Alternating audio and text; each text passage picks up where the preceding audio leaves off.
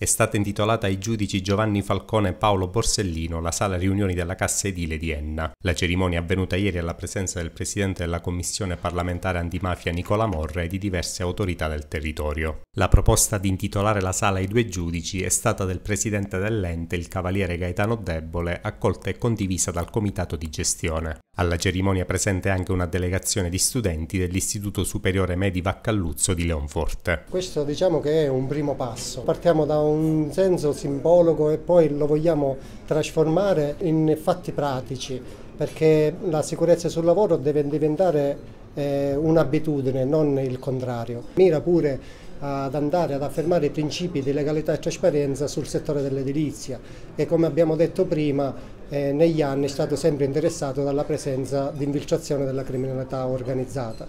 Quindi l'ente si pone in una situazione eh, di essere centrale in, questa, in questo cambio di percorso eh, sia per essere un esempio per tutti i colleghi costruttori e sia anche per gli operai che ovviamente lavorano con queste aziende. Promuovere la vicinanza alle istituzioni, far sentire le aziende vicine alle istituzioni, cercare di cambiare, di dare un piccolo contributo eh, in modo che possiamo migliorare la vita degli imprenditori nel nostro territorio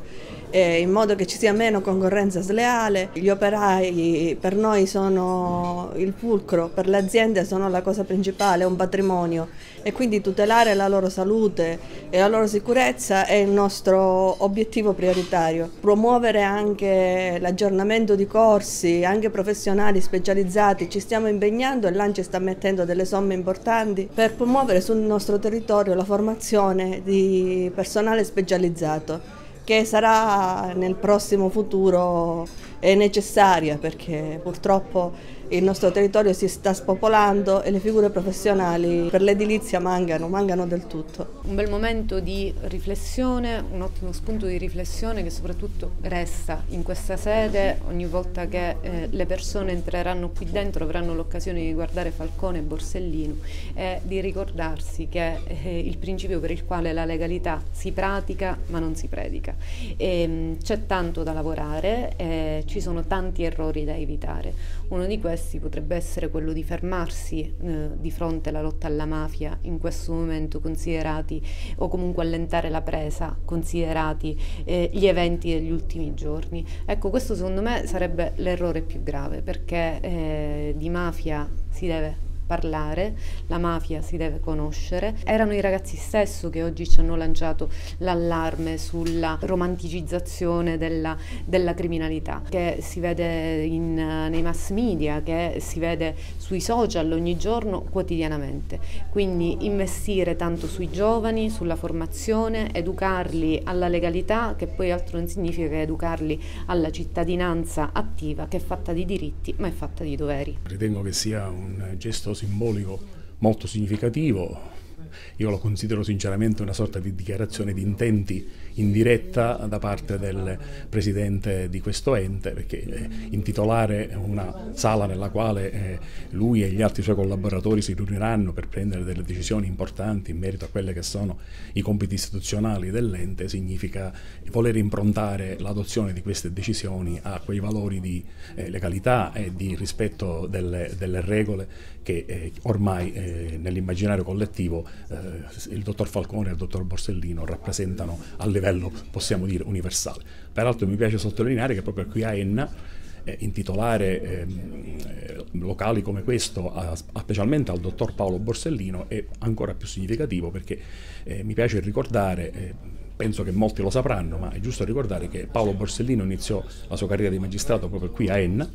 E io peraltro ho avuto il piacere di aver regalato una sorta di edizione rilegata della prima sentenza, una sentenza civile scritta appunto da Paolo Borsellino qui a Enna. Peraltro recentemente mi era stato anche proposto di fare una stessa eh, edizione rilegata della prima sentenza penale scritta da Paolo Borsellino. Spero che anche questa iniziativa sia andata, sia andata in porto. E peraltro devo dire, e anche questa è una constatazione che faccio, faccio con piacere che eh, in questo territorio, forse per l'attenzione che Paolo Borsellino in particolare, ma per il motivo che ho detto merita, eh, non è la prima volta che ci sono delle intitolazioni di locali simili appunto alla memoria dei due magistrati ormai simboli della lotta alla mafia. Eh, nel, nel, mio ufficio, nella, nella Procura di Enna, dispone di un auditorium che appunto è intitolato a Falcone e Borsellino, pure, pure, pure, pure esso, e qualche anno fa ho partecipato sempre con, con piacere e con compiacimento alla cerimonia di intitolazione, mi pare della biblioteca di Villa Rosa, se non ricordo male, sempre a Falcone Borsellino. Quindi mh, meritoriamente devo dire che il territorio di Enna pone una particolare attenzione alla memoria di questi magistrati e con eh, gesti significativi come quello di odierno ripetuti e per eh, l'incarico che rappresento eh, non posso che esprimere il mio compiacimento per questo tipo di iniziative. Noi già come prefettura, ma di concerto con tutte le altre istituzioni, ma anche con la società civile, già da tempo ci stiamo occupando dello sviluppo e della legalità del territorio, quindi l'attenzione della cassa edile, che tra l'altro è tra gli scopi fondanti della cassa edile stesso per la sicurezza sul lavoro, ma anche per la legalità nella gestione degli appalti, condivide esattamente quello che è le finalità istituzionali della prefettura. Quindi a breve eh, realizzeremo un tavolo anche di concerto con l'ispettorato del lavoro e si è dichiarato disponibile anche il procuratore per individuare gli strumenti per rendere il lavoro dignitoso, legale ma principalmente sicuro. Io sono particolarmente ottimista perché relativamente a questo singolo evento, a questa singola intitolazione, non avviene il 23 maggio e non avviene il 19 luglio, avviene a distanza di tre giorni dalla consegna o cattura di Matteo Messina Denaro alle autorità dello Stato italiano e avviene soprattutto all'interno della Sicilia, all'interno quindi di una realtà che con Cosa Nostra ha una storia di sofferenza enorme. Se anche all'interno della Sicilia, se anche in territori che sono limitrofi a quella provincia, Caltanissetta, in cui il sistema montante aveva mistificato il senso dello Stato, eh, la credibilità delle istituzioni, ecco, se anche all'interno della Sicilia si recupera il valore dell'azione di Giovanni Falcone e di Paolo Borsellino, ma anche delle loro scorte, perché non sono stati sacrificati soltanto loro, ma anche i loro familiari e le loro scorte. Ecco, questo è un buon segnale e mi fa piacere che questo segnale provenga dal mondo dell'edilizia, dei costruttori edili, perché sappiamo tutti che in Italia, ma in particolar modo in Italia meridionale ed in Sicilia, è l'edilizia il volano dell'economia, se noi riusciamo a infondere senso di giustizia e rispetto della legalità in queste realtà, noi possiamo ancora giocarci la partita. Badate, non dico vincerla, dico giocarcela perché a mio avviso lo Stato è, ahimè, molto molto compromesso. Siamo confinanti con la provincia di Caltanissetta e ricordo a tutti che sulla questione montante, diciamo così, si è velato, si è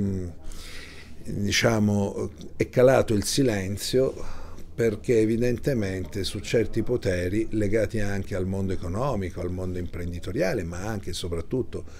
al mondo dell'informazione, al mondo della magistratura, al mondo delle forze dell'ordine, su questi poteri non si deve far luce.